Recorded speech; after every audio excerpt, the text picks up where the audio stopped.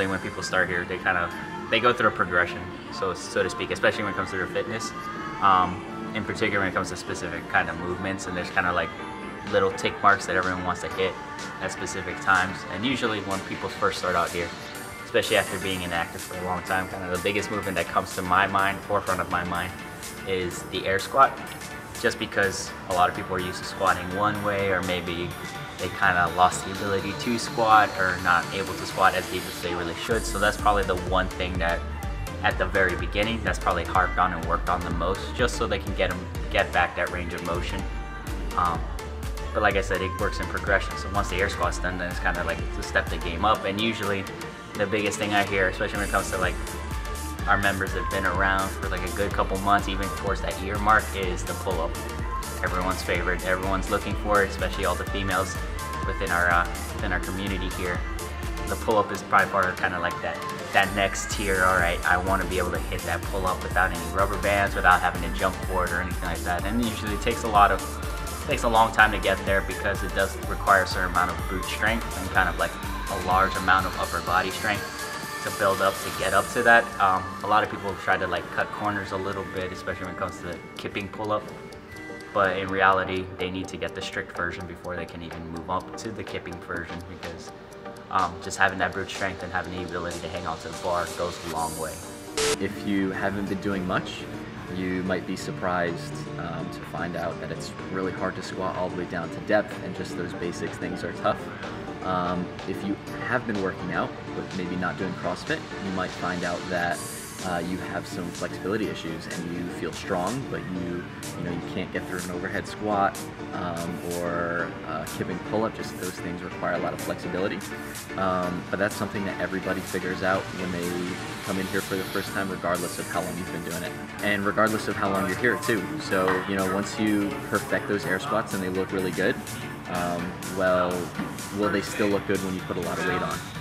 Um, once you knock all of your squat movements out, then it's like um, we've got the gymnastic stuff to work on. We've got um, upside down, getting in a handstand. There's just always stuff to improve. Once we get past the initial pull-up, things like the muscle up or even just toes to bar, knees to elbow, things like that to kind of help build their center, build their core a little bit more and to kind of help them develop further.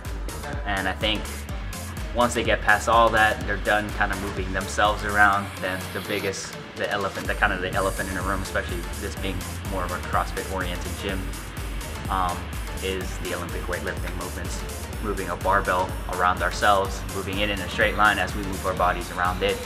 And there's no perfect recipe to get anyone to get it to do it correctly the first time right out of the gate. It's a it's a thing we spend years building upon. Even now, I've been at this for like six years now, and even then, I'm still tweaking little things here and there on my clean and jerk and even on my snatch, just to make them better. As the weight goes up and gets heavier, technique needs to be more and more pristine as we advance further up in terms of weight, in terms of just overall movement and even cycling the bar is a difficult task sometimes because what if the bar's a little too heavy? Maybe it's a little heavier than you're used to, then we need to go ahead and practice it over and over and over and over. And at the end of the day, if it makes you better, that's what we're looking for. And it just it just takes a very long time and you just have to have patience when it comes to these things. So it's something to keep in mind while you're going through kind of the motions of being in here whether you're just starting out or whether you've been here for years.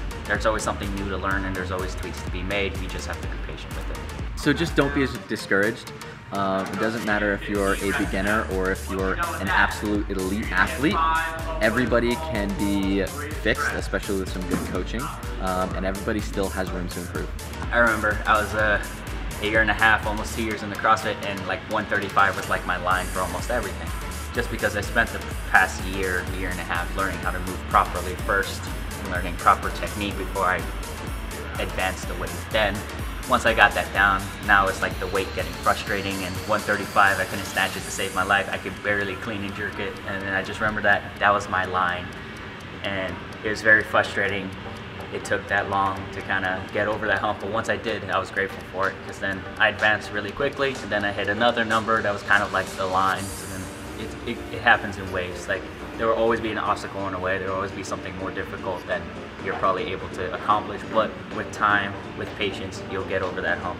Whether it's something as simple as an air squat, maybe you won't be able to hit depth today, but maybe after doing it over and over them and stretching yourself out and you know regaining that range of motion within a couple weeks, you could be down there. And then you can move it up even further, maybe make it a little bit harder, goblet squats, stuff like that to kind of help you advance further. So no reason to be discouraged by it at all because we all go through it. If you put in the work yourself, you will get there as well. So it's always there.